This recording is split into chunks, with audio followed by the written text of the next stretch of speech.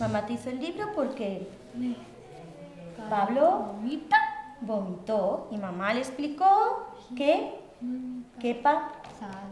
Venga, ¿vamos a leer? Es un cuento escrito a su medida porque para comprender lo que lee, Pablo necesita el apoyo de los pictogramas. Los niños con autismo tienen dificultades en el pensamiento literal, la interpretación literal del lenguaje, es decir, el doble sentido, mm, el ponerse en lugar a lo mejor del interlocutor, lo que está diciendo es donde tiene problemas.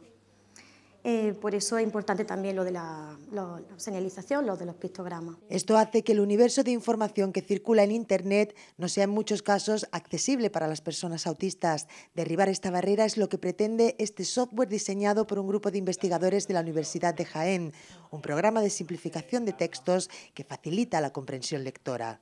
Lo que se hace es que ese texto se intenta localizar todas las palabras que mm, sean complejas y se le puede mostrar imágenes, se le, mostraría como una especie de enlace, igual que en una página web, de manera que cuando pase el cursor por encima de esa palabra pueda pinchar y aparece una imagen con el significado concreto que tiene esa palabra en ese contexto. O reescribe un texto completo sustituyendo metáforas y expresiones de doble sentido por conceptos más sencillos. Podría ser utilizado en otro ámbito, por ejemplo, para, para la mejora en la comprensión lectora de otro tipo de lengua, para personas que están aprendiendo. ¿no? Una aplicación que inicialmente estará disponible en tres idiomas, español, inglés y búlgaro, las lenguas de los tres países europeos que impulsan el proyecto FIRST, en el que colaboran asociaciones de autismo e instituciones académicas y sanitarias.